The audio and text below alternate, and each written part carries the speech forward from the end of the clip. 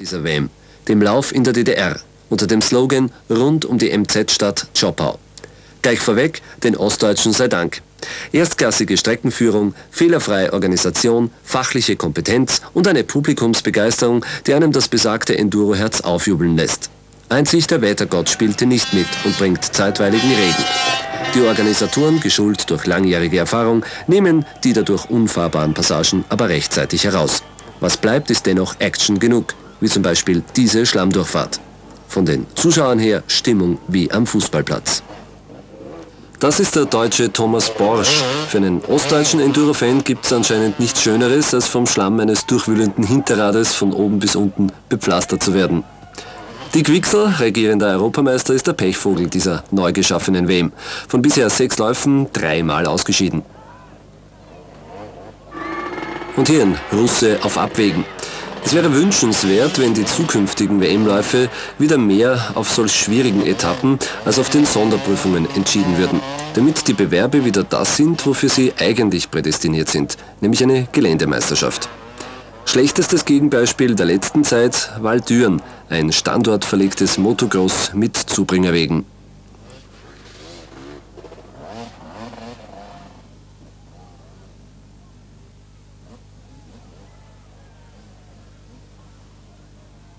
180, der starke 500er führende Schwede Peter Hansson mit Gefolgsmann Giorgio Grasso, der auch zurzeit an zweiter Stelle in dieser Klasse liegt.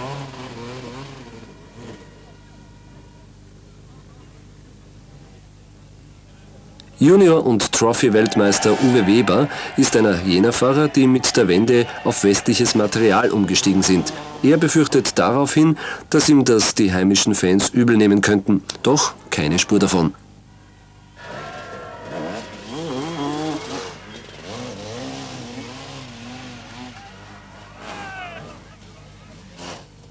Tony den Dam, der holländische 250er Fahrer, findet das tiefste Loch dieser Sequenz.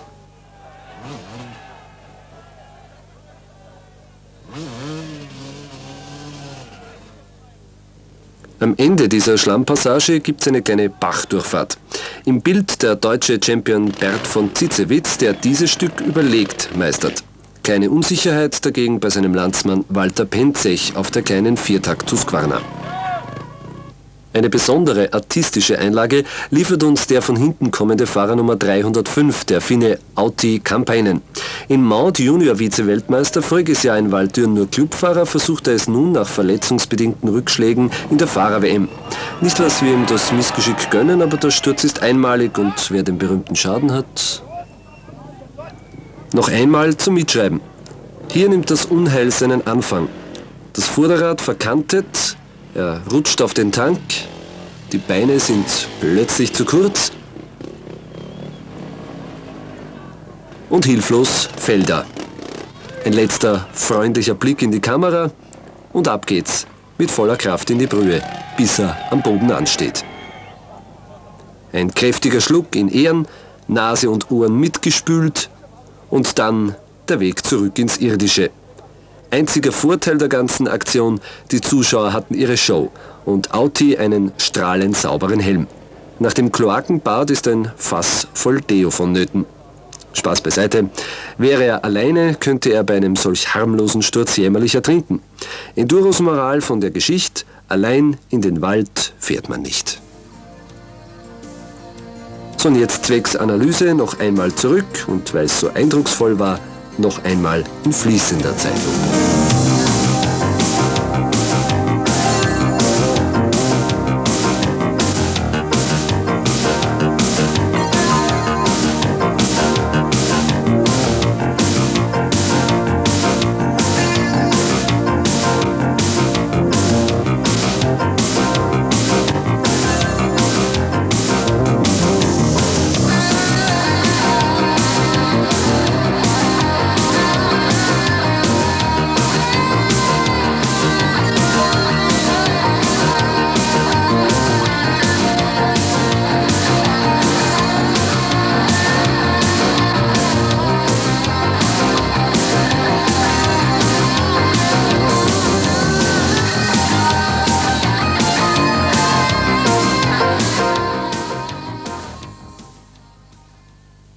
Die Lichtmaske ist nicht wasserdicht, aber dafür gibt's Ehrenbeifall der Zuschauer.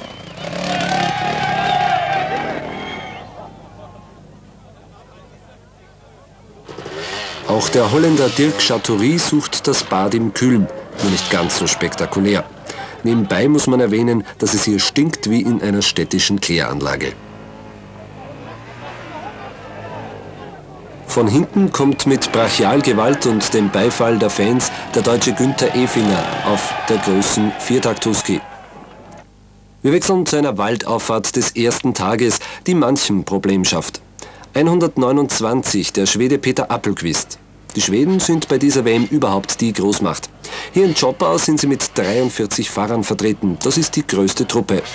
Für viele Training für Festeros. Nun, wir dürfen uns hinsichtlich der Six Days auf einiges gefasst machen, zumal auch die Favoriten aus diesem Team kommen. Nun, Appelquist braucht noch ein wenig Übung.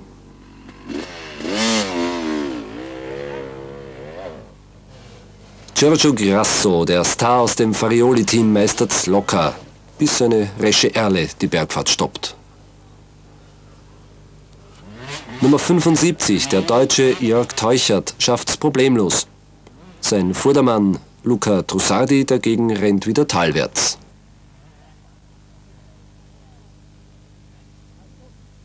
»132, der Holländer Jan Wouters hat auch mit erheblichen Schwierigkeiten zu kämpfen. Die Holländer starten hier mit einer 16-Mann-Truppe. Die Startpflicht wurde von deren Verband für all jene auferlegt, die bei den kommenden Six Days in Westeros starten wollen, quasi als weltmeisterschaftliches Training. In Waldürn belegten sie mit der Trophy den achten, mit den Junioren den neunten Platz.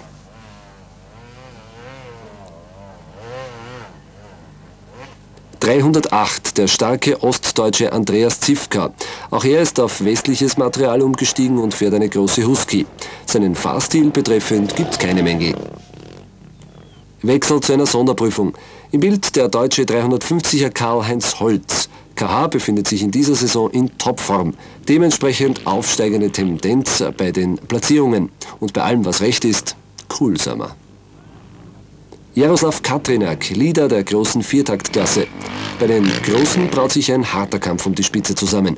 Nur knapp sind hier die Punkteunterschiede. Hier der Schwede Jimmy Eriksson auf Husaberg. Er liegt zurzeit in der Gesamtwertung mit 15 Punkten minus an dritter Stelle.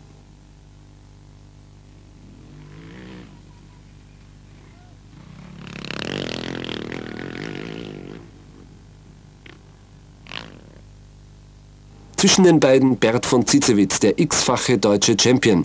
Ihn trennen 8 Punkte von Katrinak und 7 Punkte plus auf Jimmy Eriksson. Optimismus ist angebracht, zumal sein Team mit Mechaniker Hendrik und dem fliegenden Betreuer und Paris-Dakar-Fuchs Bernd Körber die besten organisatorischen Voraussetzungen bietet. Übrigens, Bert von Zitzewitz führt in Karlshof in Norddeutschland eine Offroad-Schule. Ein empfehlenswerter Tipp für all jene, die kurzfristig ihre Fahrkünste verbessern wollen. Das erspart unter Umständen Schürffunden und Ärgeres und die günstigen Kurskosten, die kriegt man durch eingesparte Sturzreparaturen locker wieder herein. Publikumsliebling und Sieger dieses Tages ist aber Andreas Zivka vor Bert von Zitzewitz und Katrinak.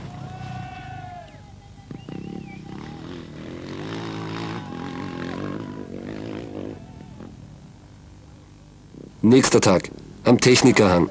Eine finstere Waldauffahrt unmittelbar über dem MZ-Werk. Im Bild der Österreicher Charlie Bayer. Er ist in dieser Saison nicht gerade vom Glück gesegnet und auch heute eilt ihn das Schicksal in Form eines technischen Defekts. Er scheidet aus. 217 der Schwede Joachim Johansson. 211 Andreas Hengst BRD.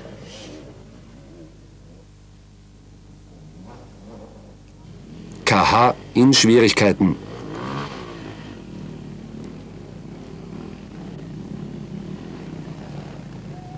Michael Sauer beklagt mangelnde Traktion. Viele müssen feststellen, dass dieser Hang nicht umsonst Technikerhang genannt wird.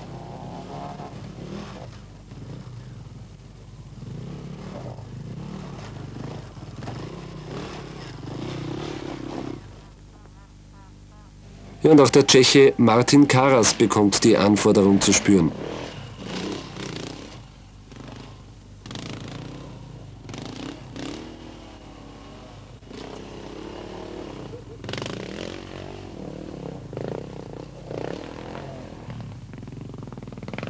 Jaroslav Katrinak dagegen ganz im Stil eines Klassefahrers.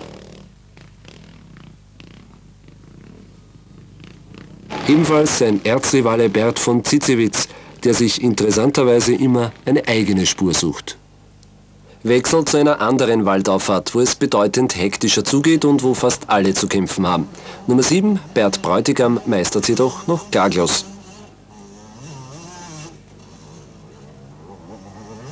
Matzi Robel dagegen liegt da nieder und von hinten kommt mit ungestümer Power der kleine C125er führende Paul Edmundson. Blitzschnell erkennt er die Situation und rennt mit seiner ihm typischen Energie über die kritische Stelle. Torbjörn Larsen dagegen schafft's nicht. An ihm vorbei Larsnon.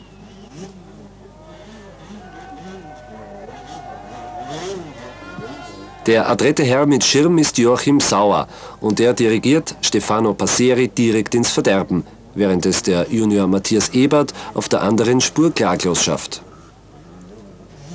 Im Namen der Ersatzteilindustrie Joachim Sauer sei Dank.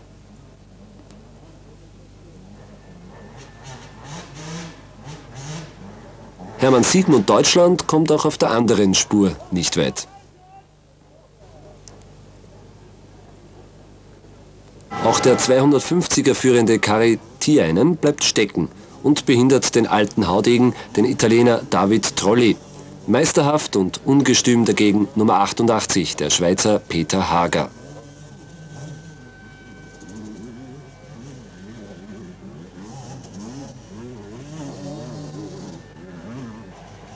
Die Quixel mit der Ruhe und Routine eines Regierungs Obwohl die Tschechen absolute Dirt-Track-Spezialisten sind, hat Karas heute nicht seinen glücklichsten Tag. Auch dem Holländer Schramm blüht selbiges. Aktueller Stand in der WM 80 Kubikzentimeter erster Thomas Bierbach, 125 Paul Edmundson, 250 Kari Tiainen, 500er Peter Hansson, 350 Viertakt Hakan Lundberg und 500er Jaroslav Katrinak. Regierenden Europameisters. Er gewinnt auch den heutigen Tag. Frantische Grobskis Bemühen wird gleich im Ansatz zerstört. Der deutsche Kai Armin Pfefferle versucht's mit Power und scheitert.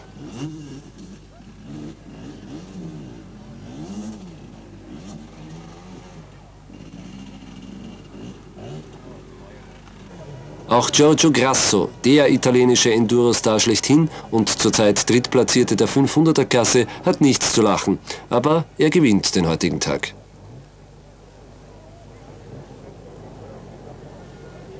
André Fischer aus der DDR hilft auch die Anfeuerung seiner Fans nicht.